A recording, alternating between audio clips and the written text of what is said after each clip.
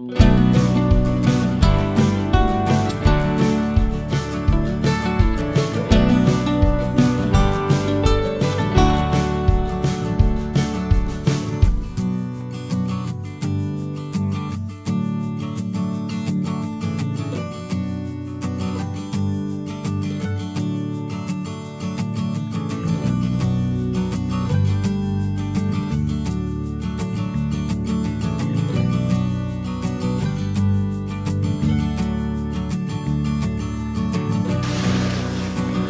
What is going on guys? Welcome back to the channel.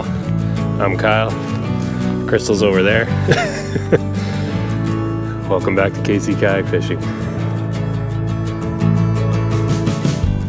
So we're out here for the, I think it's the first, second event of the West Coast Kayak Angler Series, saltwater side of their year-long series. We're out here in beautiful Macktush Creek Campground and it is pandemonium out here right now. There are boats everywhere. But we're in a tournament, so we're gonna try and get some fish. There's Crystal. and conditions are absolutely atrocious. So we're out here targeting Chinook. Crystal is trolling right now with a three inch spoon. I can't remember the name. If I remember it, I'll uh, put a link in the description. It's from Lighthouse Lures. I think it's a Night Rider. I'm not sure. Big old flasher. She's on a five pound ball. So we're, apparently there's some late season sockeye here too. Be nice to get one of those, but we're gonna do a couple passes here with Crystal. I'm not gonna have any gear in the water just to make sure she's comfortable and knows what she's doing. Plus, we all know that everybody only wants to see Crystal on the channel too. You guys are tra you guys are traitors. So every time you want to, when you're bringing the downrigger ball up, you don't have to click the bail, but when you're going down, you got to click the thumb.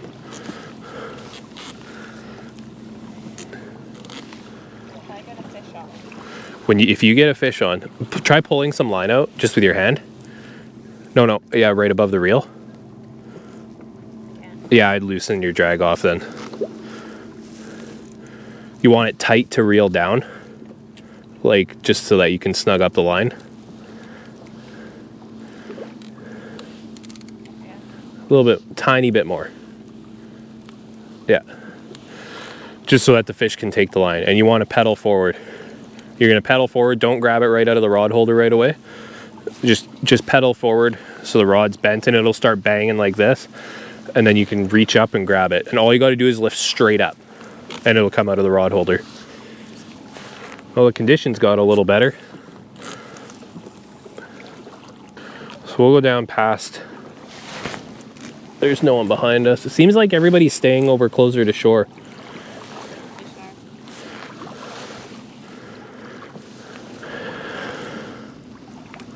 There's still a lot of boats down here though.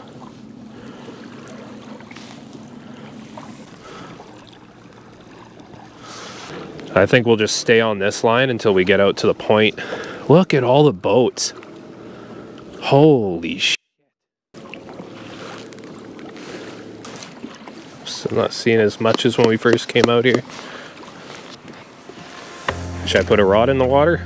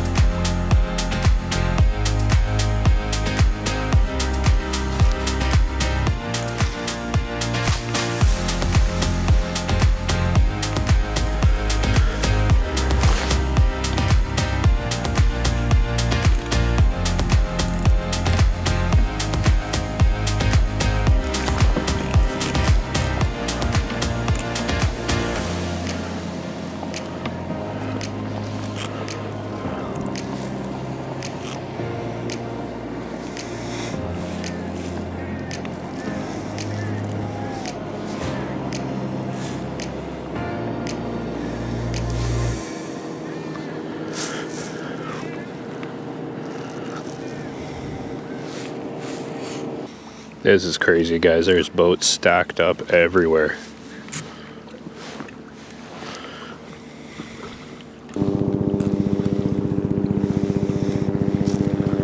Not bad, how about you?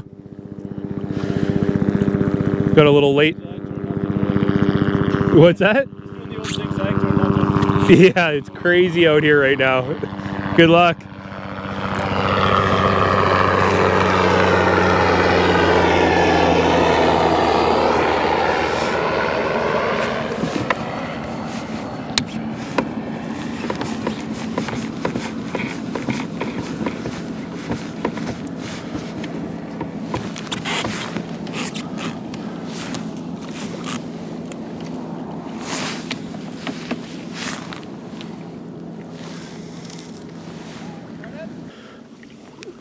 Are they biting on spoons?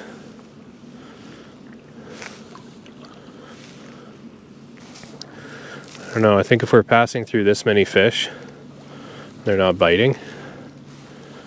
Might have to switch. Maybe a hoochie. It seems to be handling this six pound ball all right, though. I'm using a six pound downrigger ball today, guys, which is not recommended for the Scotty Lake troller. so, do not do as I do.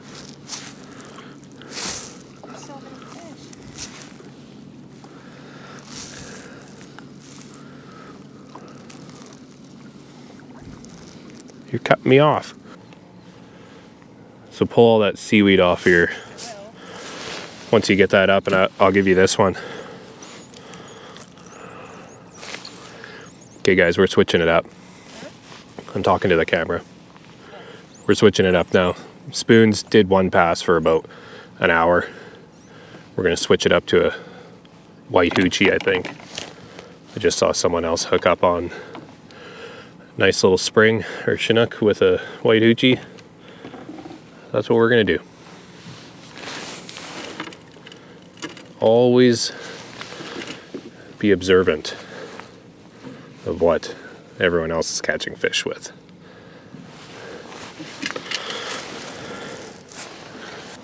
You're not like in the weeds or anything, are you? No. That was definitely a fish. Crystal just had the first bite of the day. And I missed it because the camera was off. Oh, Pedal. Pedal. Pull your rod out of the reel, or out of the thing. Now, turn to the left. Huh? Turn left. Crystal's hooked up. Okay, stop. Stop, stop, stop, stop, stop. What am I doing? Let him run. Hold up. Hold up. Just stop for a sec. Is he still pulling? Does it feel like there's a fish on there?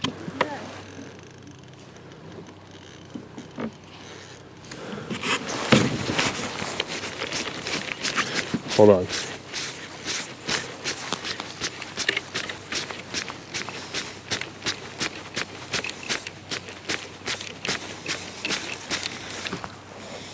Oh, I got a fish too. It's a friggin' lingcod. what the hell?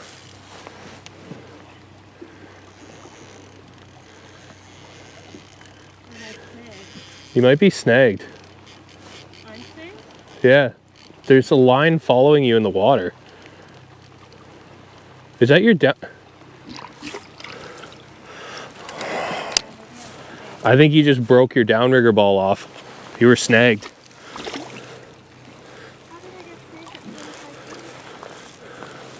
There must have been.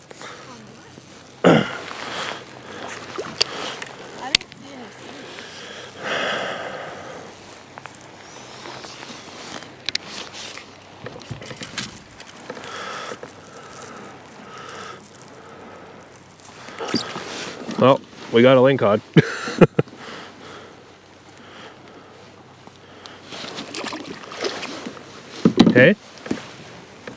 Yeah.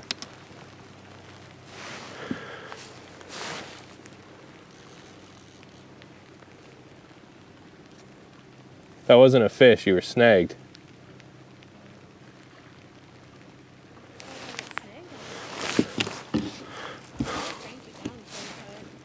Are you sure it was 25 feet?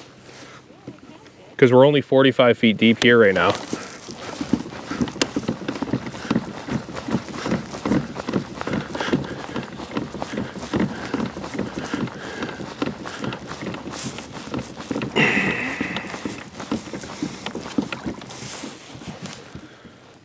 Well, are you still snagged? You're gonna lose the flasher too.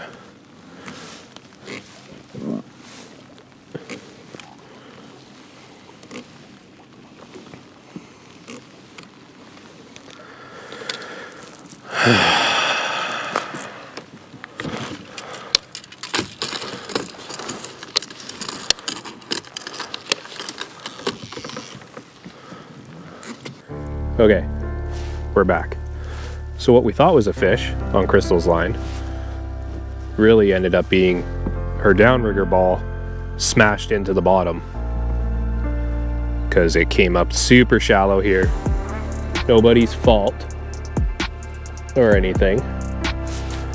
New area.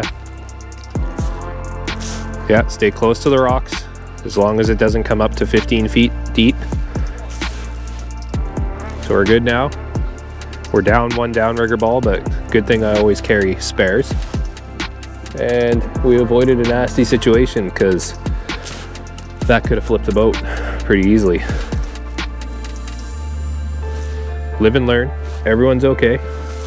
It's only money that we're losing. Got Crystal on a spare ball, had to give her my downrigger clip, so I got a line clip on right now basically the same thing. It just attaches to the line instead of the bottom of the back of the downrigger weight. And I'm gonna try a green hoochie. Crystal's gonna stick with the uh, white. There is fish in the water. Everyone seems to be hooking up but us, so. What's up?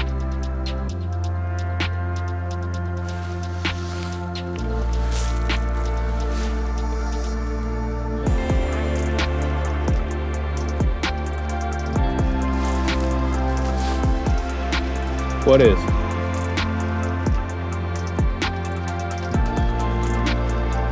Can you loosen it off?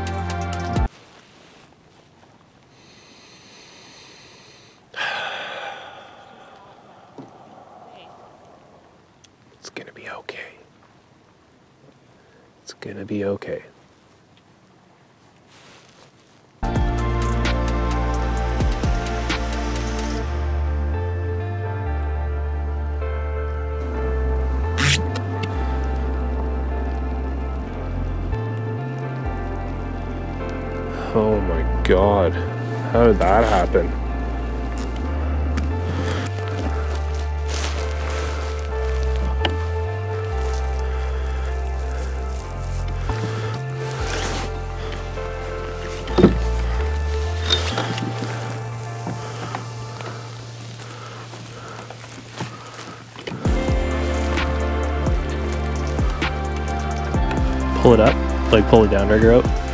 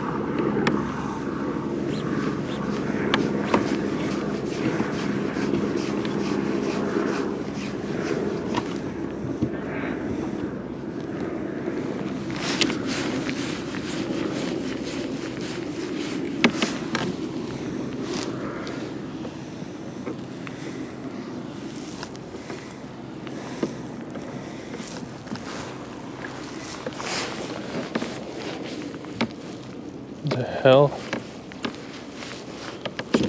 Did it pop off the clip?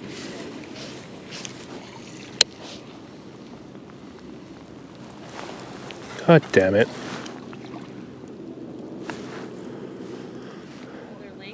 No. A little rockfish.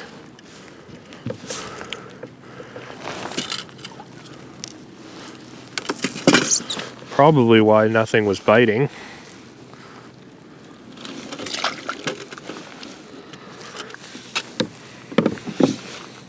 Oh, I should have taken a picture of it for the species. No, it was like a brown rockfish. It wasn't a copper or anything like that.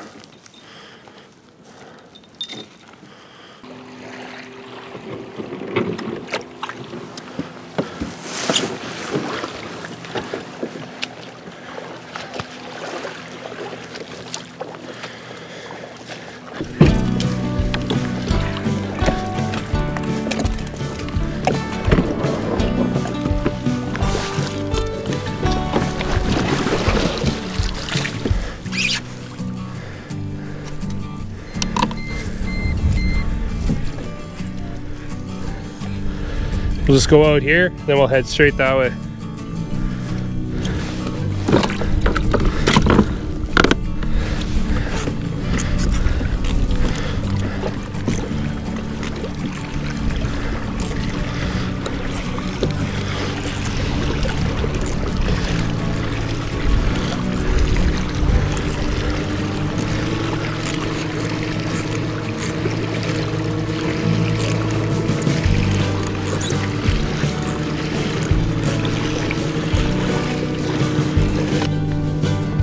Right, guys, we're back.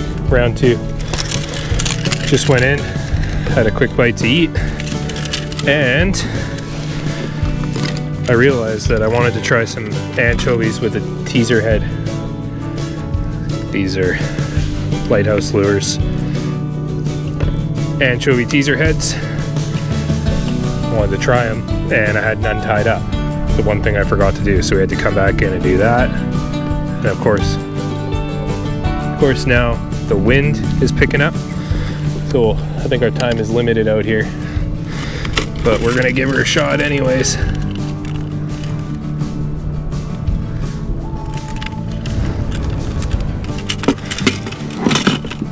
Oh yeah, she's blowing.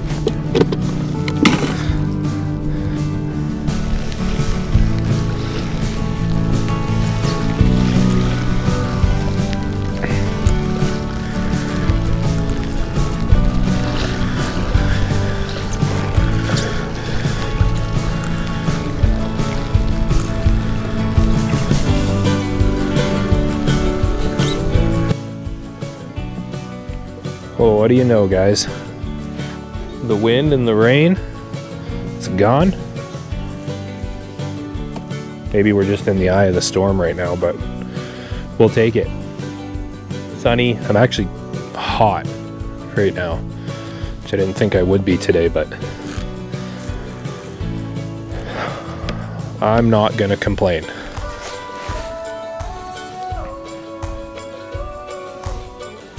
I'm I'm at 44. Great minds think alike. Well guys, Crystal hooked up into a salmon and it ended up spitting the hook probably 20 feet from the boat. So I think we're on to something with the anchovies, so we're gonna stick with it. We're just gonna keep working this side back and forth because that's where we've seen the most action. Need to get baby girl on a fish. Yeah, wherever you want to go. You're the boss. You're the only one that's hooked up to a fish today, I think.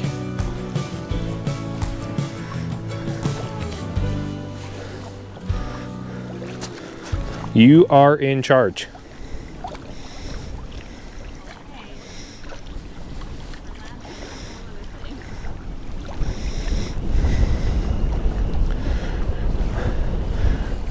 I don't think you could have played it any different. Sometimes shit just happens.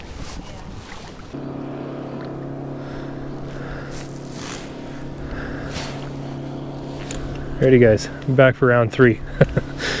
the night bite. Just went and had some dinner.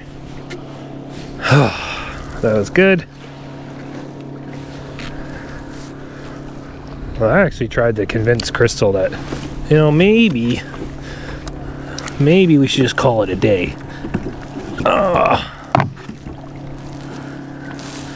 she was determined. She said, no, I want to catch a salmon. I said, Are you sure? I don't know if that's such a good idea because I'm really tired. She said, Nope, we're going back out. She said, Do the dishes. I'll meet you at the boats. So I did the dishes and her back at the boat. And now we're fishing again.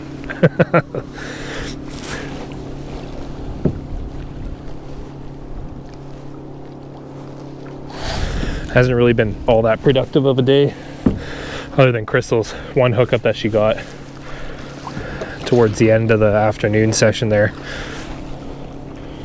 And that bite came on an anchovy behind a bigger green flasher, so I think we're gonna try that again.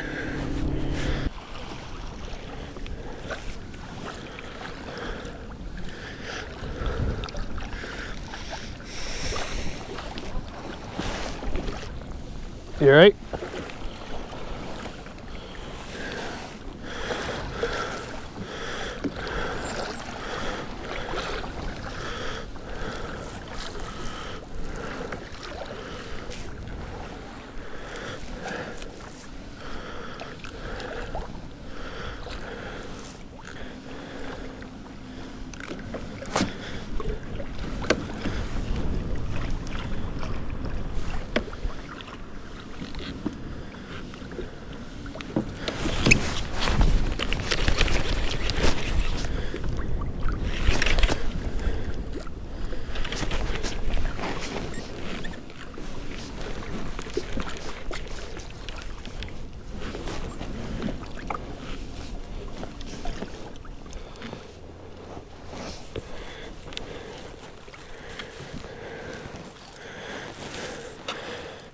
That might have been what you what hit it.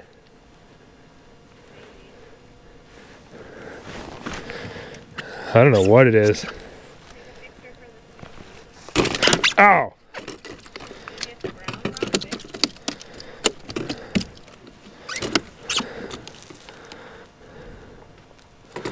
I'm not sure.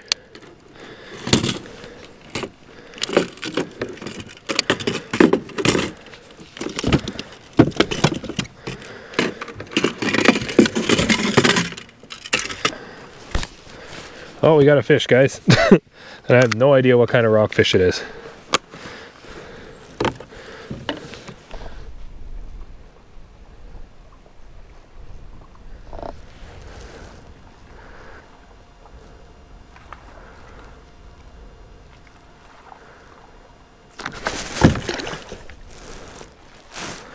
Dropped it.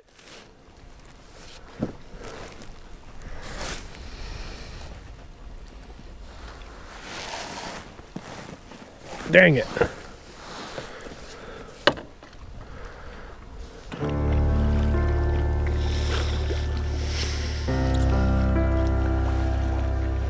Ready?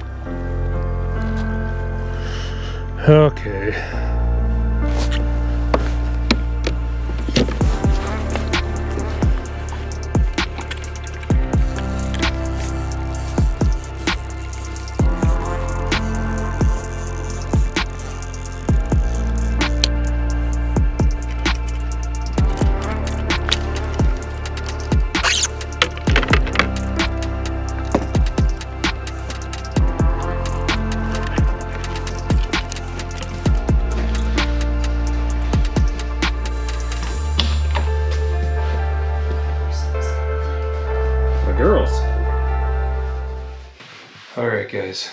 Back at home now. This is a few days later, as in a couple weeks later. I totally forgot to film an outro of the video while we were at Macktush. got dark the first day and we weren't able to stay a second day. We had to leave early in the morning. Unfortunately, no salmon were caught by any kayak fishers in the tournament on the day that we fished. The second day, however, early, early in the morning, we could hear people hooking up to fish and we almost almost thought about unloading the boats and putting them back in the water and trying to join everybody but unfortunately i had to work the next day and we our babysitters had to leave so But it was a good thing that we didn't actually, because then we had a flat. Yeah, we, we had had- to deal with. we ended up having a flat tire too Yeah. just going to pull the trailer out and boom flat tire so it was a lot more of a headache and a lot more time taken up so i'm glad we didn't unload the boats Mm-hmm. and shout out to your mom too for watching the kids for the night or two nights that Yeah. was uh She's a brave woman. yeah so what do you think about your first tournament and your first kayak fishing for salmon trolling experience out at macktush Um, overall, I think it was definitely a good learning experience. Um, I had a lot to learn, so it was a little bit overwhelming, um, mainly because it was very busy with lots of boats, lots of boat traffic. So trying to learn how to troll and get my downrigger down while also like really watching my surroundings was a bit um, overwhelming at times. But once I got the hang of it, um, it was great and it was really fun. Um, although I didn't catch a salmon, um, it was still a really neat experience. And by the end of the first day, like I felt pretty confident um, trolling and using my downrigger um, and watching my fish finder and all that. So it was definitely a good learning curve for me. We went out all morning, came back in eight, and then we've gone back out in the evening. Um, and there was something weird going on with both our fish finders in like one particular area, kind of a little bit closer to the shore. There's like a rock wall there, and it was really odd. Like our fish finders were glitching out, where like our screen would just go blank for a bit, and then all of a sudden you thought you were at like 40 feet and then you're like at 80 and it would just like change really abruptly. So it was almost like it wasn't getting a read in a certain area. And for me um, i was watching my fish finder and there was like a huge school of fish with some big fish in there. So i was like super excited. And i was trolling at 30 feet and the fish were all at 30 feet so i was really excited and then out of nowhere, I felt like this really sharp tug, and I'm like, oh, I'm hooked up. Great. Um, and so I kind of stopped paying attention to my fish finder and I was more focused on my line and my rod, thinking I had a fish. But really, what had happened was I think my fish finder kind of glitched out because all of a sudden I looked and I was at 15 feet. So my downrigger ball obviously got snagged and hooked up um, on a rock. And my boat was kind of like tipping a little bit. And thankfully, I let the drag off and um, it was okay. But like I could have flipped. And the cables or the, the, the cable snapped for the downrigger, which that was a good thing because otherwise I probably would have flipped. Um, and I was kind of like a little bit shooken up after that. I mean, if I flipped, I would have been okay. Um, you know, it's summertime. I could get back in my boat fairly quickly. It's just losing all that gear would have really sucked for sure. Um, but yeah, it was a good kind of learning experience. Like, although my fish finder glitching out wasn't really my fault, I think, you know, it's a new area. We'd never fished before either. And so I was really relying on that fish finder and I was getting a little bit overconfident. Um, and I mean, really, where it all happened, I was fairly close to shore. So I should have just maybe been a little bit more hyper vigilant. Um, I got really excited about the school of fish under me, um, got a little distracted. So yeah, just like a good reminder to be aware of your surroundings, especially in a new territory that you haven't fished before. And yeah, I mean, it all was okay. But yeah, I, I didn't fish for a bit after that. I was like, nope, I'm pulling my line. I'm just going to drift around, catch my bearings, um, and let Kyle fish because I think he was a bit frustrated too. He had to like help me get all unsnagged. And there was a few uh, F bombs under his breath. Um, so yeah, I, I kind of just like did my thing and just watched him fish for a bit and got you know shook out the nerves and then then I was good. I'm like nope, like I need to keep going with this. I'm gonna catch myself a big old salmon, which didn't happen. But you know, that's the name of the game and uh, the name of the sport. So, guys, another good tip too that we've come to realize is in that whole scenario where she ran her downrigger ball into the bottom, and thank God the cable snapped. But it wasn't the cable that originally came with the Scott, Scotty Lake Troller. We switched it out for the braided line, which I think is rated for 250 pounds worth of force, like it's 250 pound test braid. So the weight of the boat being 150 or whatever with all the gear and stuff, plus you on it, was enough to break that cable instead of flip the boat. Whereas if it had the stainless steel cable that came on or on it with that came with the Scotty Lake Troller, who knows what would have happened. I don't think it would have snapped, probably would have flipped the boat, and then there would have been a lot more F bombs under my breath. I think. Yeah. so just a little tip for you guys. I think everybody who has a Scotty Lake Troller or any type of downrigger too, like there's no need to run the stainless steel cable. Switch it out, spend the extra money, and it is a safety feature that it will break. All right, so that unfortunately no salmon were caught by us, and that's a reality of kayak fishing. I mean, I know it looks like it's just fish after fish after fish when we get out there. That's the magic of editing. Like yeah. I it, it can sometimes be days and days of going out, hours and hours put into this. And no fish, no bites, no nothing. So I thought I'd put this video out just to show you guys the beautiful scenery in Macktush. If you guys haven't been there, I highly recommend that you get out there. Fish weren't biting the day that we were there and the day that we were fishing. Not much we could do about it. No. But getting out together, having some time alone in the middle of nowhere in a beautiful location was what it was all about. Mm-hmm. But yeah, if you guys are thinking that I'm gonna jump on a kayak and I'm gonna catch fish like everybody on YouTube does. It does not happen that way. Well, I you have your days. Like... You definitely do have your days, and I have lots of days where I don't catch anything, and it's frustrating and disappointing trying to get the videos and the content out to you guys. But I thought it was the same thing. You see all these guys on YouTube, they're just pulling out fish, pulling out fish. That's what makes it so amazing. It's like you have to work so hard, and then when you do catch that fish, it's just like you won the lottery. Yeah, I don't exactly. know. It just feels so good. Yeah. Anyways, guys, that's it. We're done. We're gonna wrap this video up. Um, thank you guys so much for watching. Thanks for everybody for all you subscribers out there and everybody viewing and liking the video. We really do appreciate all the support. And if you guys haven't already, make sure you go down below, smash that subscribe button, hit the like, turn on notifications, share the video with your friends even. Follow us on Instagram as well too at KC Kayak Fishing and Facebook as well at KC Kayak Fishing. all those things. all those things. We're also going to leave a link in the description down below for the West Coast Kayak Angler Series. Um, website if anybody on the island or you're visiting the island during the season and you want to check it out. It's a great opportunity to meet a bunch of other like-minded folks and enjoy some kayak fishing in the safety of a group. Shout out to all the organizers of the West Coast Kayak Angler Series. I know it's a thankless job and you guys put a lot of time into it. So that was a great event and we can't wait to be part of more. Totally.